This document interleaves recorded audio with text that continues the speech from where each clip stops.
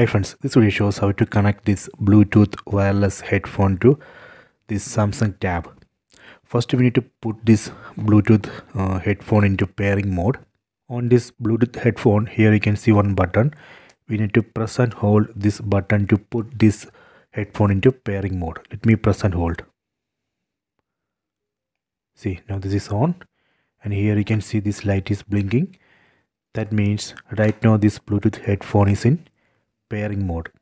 Then in tab open settings tap on the settings up icon. Then tap on connections. Tap on Bluetooth. So first we have to turn on Bluetooth. We can tap here and turn on Bluetooth.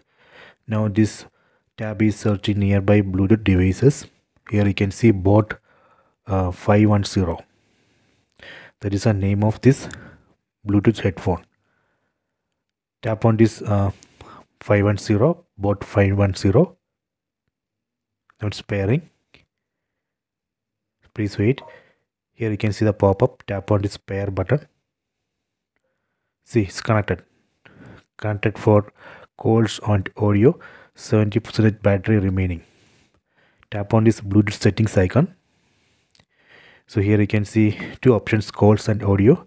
You can enable or disable these options so if you want to rename uh, this device you can use this rename option. If you want to temporarily disconnect this uh, headphone you can use this disconnect option. If you want to permanently remove this uh, bluetooth headphone from this samsung tab you can use this unpair uh, option. So this way we can uh, connect wireless bluetooth headphone to this samsung tab.